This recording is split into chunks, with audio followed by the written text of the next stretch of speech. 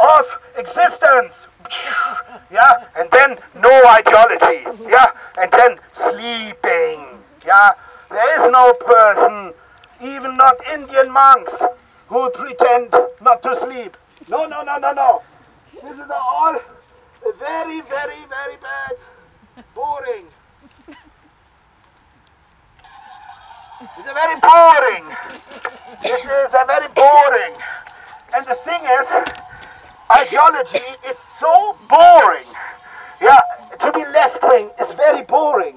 It is so boring. And it's very boring to be right wing. It's so boring.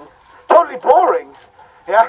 And when you when I smell this, yeah, this, when I smell the ideology, I want to go home to play, yeah, with my uh, toys, yeah, no problem.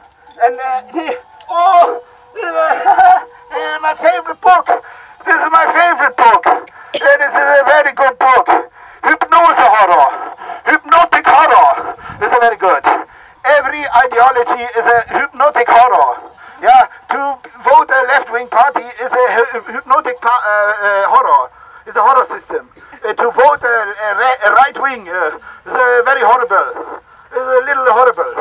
Yeah, and it's a bingo. In, in, Germania, in Germanian, uh, you say uh, lottery, lottery. Yeah, and then the people always talk. "Oh, oh, we want to vote because then we have a voice. Then we are uh, participating.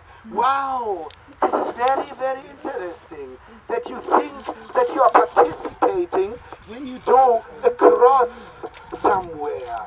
This is very, very, uh, very, very shallow. Yeah, this thinking is a very shallow.